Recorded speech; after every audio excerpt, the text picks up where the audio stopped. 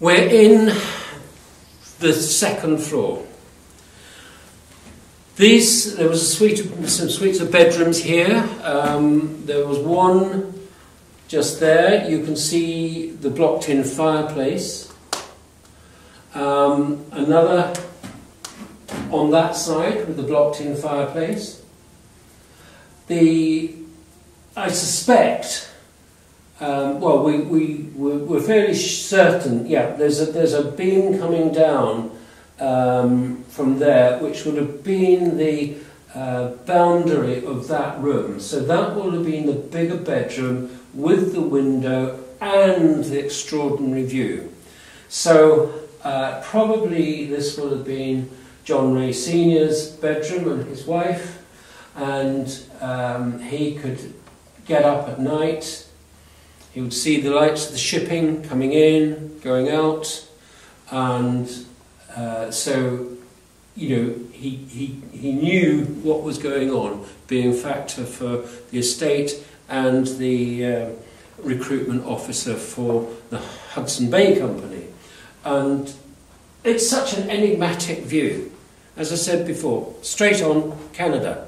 That's why John Rae, well, he will have seen all these ships. The younger John Rae going in and out himself. He'll have met the sailors um, and the captains. They will have come to dinner here, um, and he will have inspired, inspired by their stories and tales, and already known a great deal about Arctic exploration and the peoples living there. They will have exchanged all manner of stories about the Inuit, the Cree, the Dog Rib nations, and uh, so he, he will have learned a lot before he ever set foot on the ship which took him to the Arctic.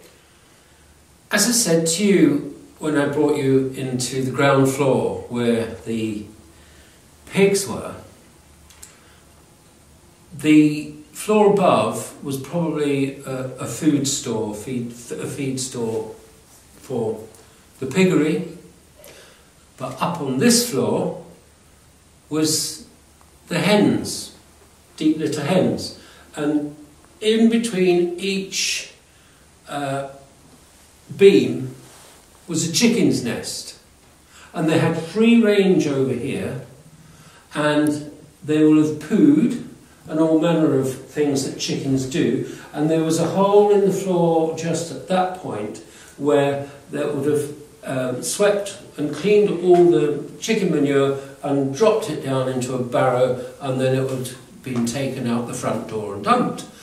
And also the chicken food will have been brought, hauled up through there uh, rather than running it up and down the stairs.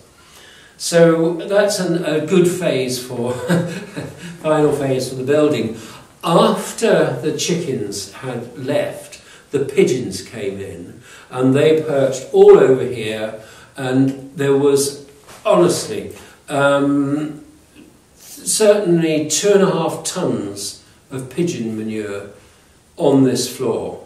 And there was pigeon manure down the stairs, there was pigeon manure on uh, the first floor as well. And we got all that cleared, and um, the, uh, it was an immense amount, oh, well over four tons of pigeon poo came out of here. Uh, so, but it was a great relief to get rid of it and then it was um, pigeon proofed again, but pigeons have great homing instincts and they imagined the hall still belonged to them. And for a little while they got in again, and hence there's a certain amount of guano on the floor, but it's nothing like what it was. So the pigeons, sorry, the chickens living on that wall there won't really have recognised that this part here was blocked in. That's where we believe the pediment to have been. So you could have actually walked into that space, and if there was a pediment here, there would have been a round window there allowing light to come in, and maybe there was a nice table just here and uh, you can see there's woodwork up here which could be part to do with pediment We'll know a lot more when this roof comes off. When the asbestos roof comes off, we'll be checking out this woodwork and the head of, heads of the walls just to see if there's any attachments or anything which would indicate a pediment and what size it was.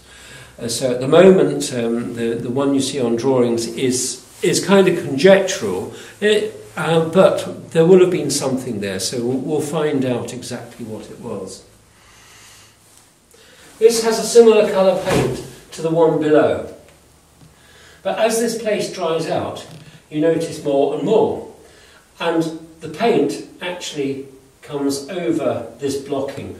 So that won't have been an original colour. You can see the stone blocking here, and then it was neatly plastered over.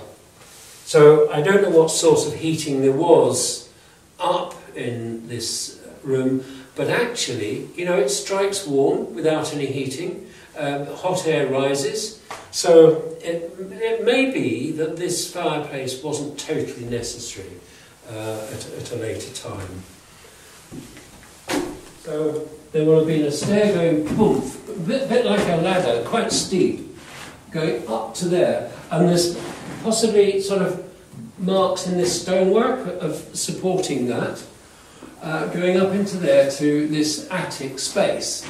Now, um, if you crane your necks when you're here, you'll see um, that that rafter going up there has little nails in it. And every one along there has nails in it, which shows that up there, from there to the uh, east wall, was plastered.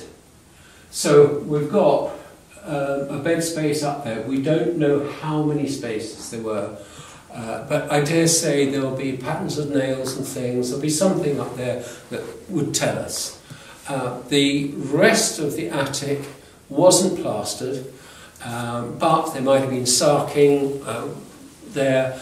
Uh, there may have been it may have been dormitory for servants, but we don't we don't know. There were roof lights up there, so you know some there were little glass roof lights.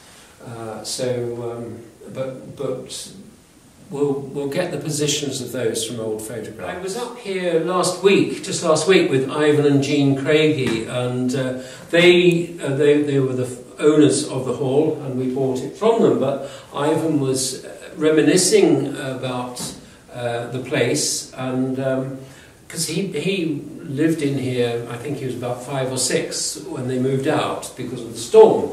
But he came and said, Oh, yes, there was a a door right here, a wooden door, and it opened out, out the way, and directly behind it was a, was a wooden stair.